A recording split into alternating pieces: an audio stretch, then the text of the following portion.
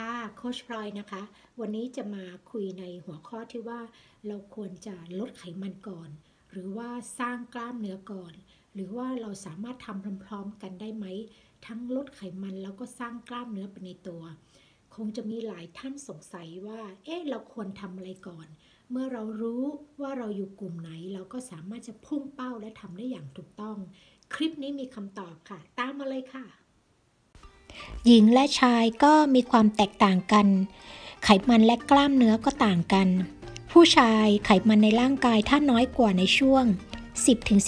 10-15%ผู้หญิงไขมันในร่างกายน้อยกว่าในช่วง 18-23%ควรมุ่งเป้าสร้างกล้ามเนื้อ ถ้าผู้ชายมีไขมันมากกว่า 15%และหญิงมากกว่า 23%ควรลดไขมันก่อน ชายที่มีไขมันอยู่ในช่วง 10-15%และหญิงช่วง 18-23%คือเมนเทรน สร้างกล้ามเนื้อและไม่ให้ไขมันมากขึ้น และเมื่อเวลาผ่านไป ก็จะมีกล้ามเนื้อเพิ่มขึ้น ขณะเดียวกันไขมันก็จะไม่เพิ่มตาม แล้วคุณอยู่ในช่วงไหนลองไปวัดกันดูนะคะ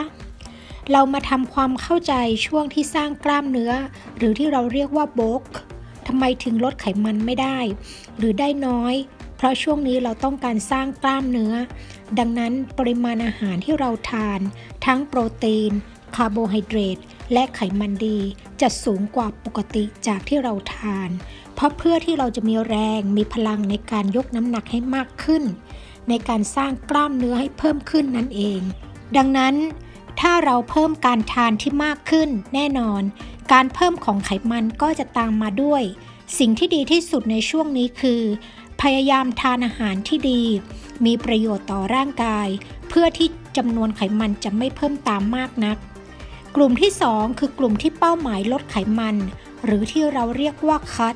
กลุ่มนี้คือผู้ชายที่มีเปอร์เซ็นต์ไขมันมากกว่า 15% และผู้หญิงมีเปอร์เซ็นต์ไขมันมากกว่า 23%กลุ่มนี้เน้นลดปริมาณอาหารและแคลอรี่น้อยกว่าจากปกติ เพื่อที่ร่างกายจะสามารถดึงเอาไขมันเก่า ที่สะสมอยู่ไปใช้ เน้นการทานโปรตีนเพิ่มขึ้น ลดจำนวนคาร์โบไฮเดรตลงจากปกติ และอาจจะทำ IF บ้าง เพื่อช่วยให้ร่างกายดึงเอาไขมันเก่าไปใช้ เมื่อไหร่ก็ตามที่ร่างกายลดไขมันลง มวลกล้ามเนื้อก็อาจจะสูญเสียบ้าง ดังนั้นเพื่อไม่ให้ร่างกายสูญเสียมวลกล้ามเนื้อ ขณะที่เราลดไขมันไม่ให้ดูเหี่ยวโซมควรเล่นเวทเบาๆ หรือเน้นที่จำนวนครั้งในการฝึก มากกว่าเน้นที่น้ำหนักที่เยอะ เช่น 15-20 ครั้ง 3-4 เซต หรือบอดี้เวท เพราะถ้าเราเล่นน้ำหนักที่เยอะ มันก็จะเพิ่มกล้ามเนื้อ และเมื่อกล้ามเนื้อและไขมันรวมกัน ก็จะทำให้ยิ่งดูยิ่งดูตัวใหญ่เทอะทะไม่สวยงามนั่นเอง กลุ่มที่ 3 เราเรียกว่ากลุ่มที่สร้างกล้ามเนื้อไปพร้อมๆกับการลดไขมัน กลุ่มนี้คือผู้ชายมีเปอร์เซ็นต์ไขมันอยู่ระหว่าง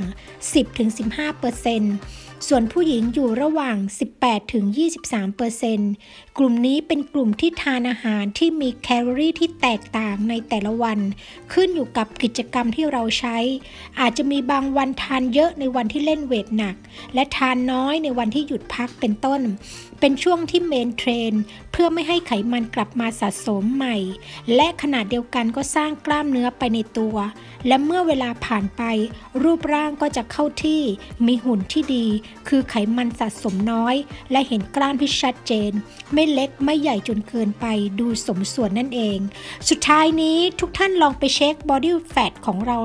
ว่าเราอยู่ในกลุ่มไหนเพื่อที่เราจะโฟกัสได้ตรงจุดนั่นเอง